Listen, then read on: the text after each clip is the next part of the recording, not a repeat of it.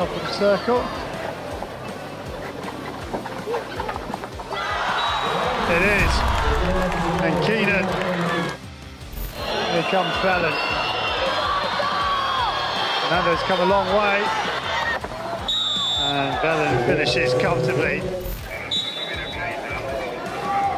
Oh, this is uh, Casella. Paul Casella's lost possession. Oh, what a finish!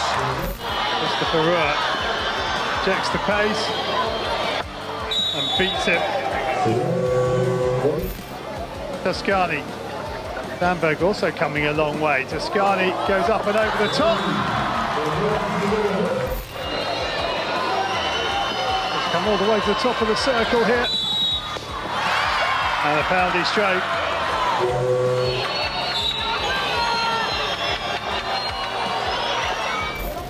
Perhaps the but again, Danneberg comes a long way.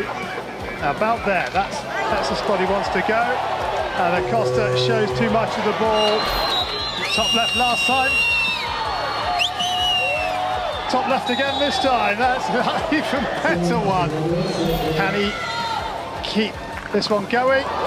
Good save. No, he can't. It's all over.